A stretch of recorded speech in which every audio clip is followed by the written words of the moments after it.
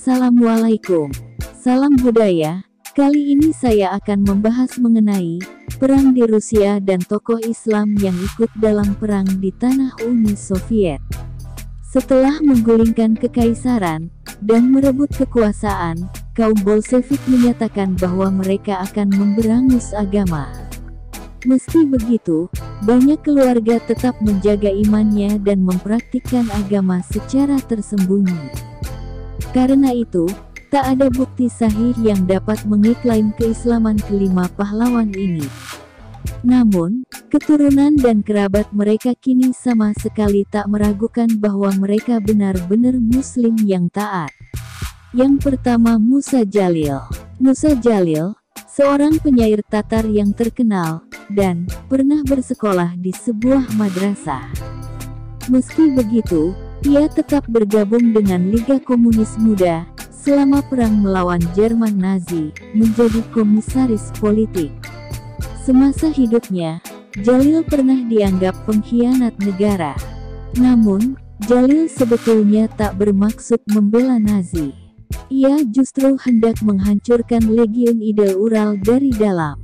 Saat itu, dia menjadi salah satu anggota kunci gerakan bawah tanah yang didirikan di dalam legiun tersebut untuk menyebarkan propaganda di antara anggotanya.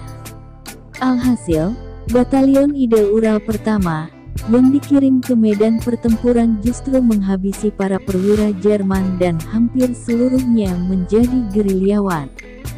Enam batalion yang tersisa juga bernasib serupa. Musa Jalil ditangkap pada Agustus tahun 1943 dan setahun kemudian dipenggal kepalanya. Namanya dibersihkan setelah perang dan, pada 1956, ia secara anumerta dianugerahi gelar pahlawan Uni Soviet. Yang kedua Kanpasa Nuradilov. Nuradilov, yang baru berusia 18 tahun, terbunuh di dekat Stalingrad, pada tanggal 12 September tahun 1943. Tahun berikutnya, ia dianugerahi gelar pahlawan Uni Soviet secara anumerta. Sepanjangan pertempuran, Nuradilov berkali-kali terluka, dan menjadi satu-satunya anggota unit senapan mesin, yang bertahan hidup. Ia dikenal pemberani, tak gentar berjuang sampai akhir, hingga membuat musuh kewalahan. Kanpasa Nuradilov memang hanya bertempur selama kurang lebih setahun.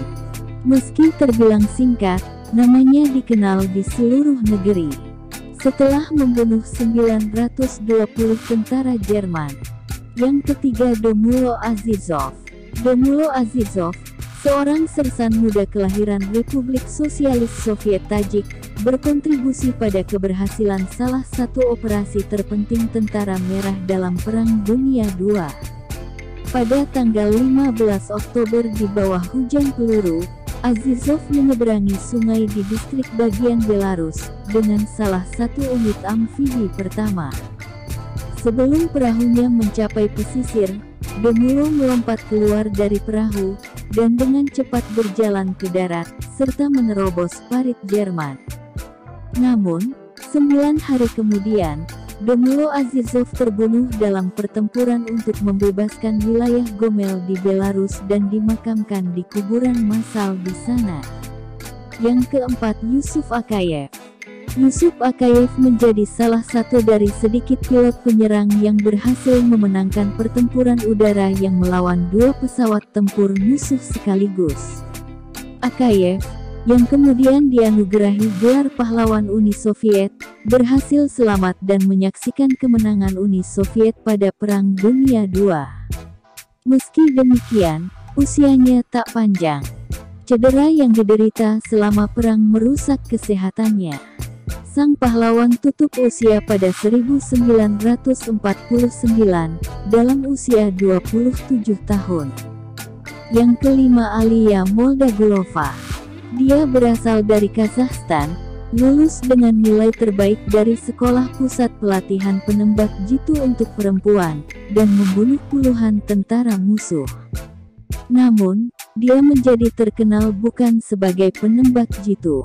Dalam pertempuran terakhirnya, yang terjadi di Skov pada Januari tahun 1944, Alia mengambil peran yang tak biasa bagi seorang penembak jitu.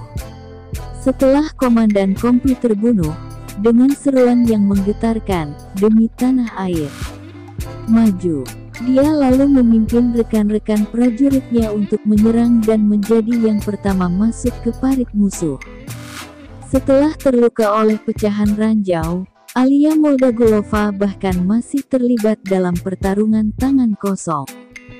Namun, luka lain yang ia derita dalam pertempuran tersebut terbukti fatal, bagi Alia yang waktu itu baru berusia 18 tahun. Sekian dari saya. Mudah-mudahan ini bermanfaat untuk kita, dan menjadi studi awal dalam kajian sejarah pada masa lalu. Mohon maaf apabila terjadi kesalahan dalam penyebutan dan paparan yang disajikan. Assalamualaikum.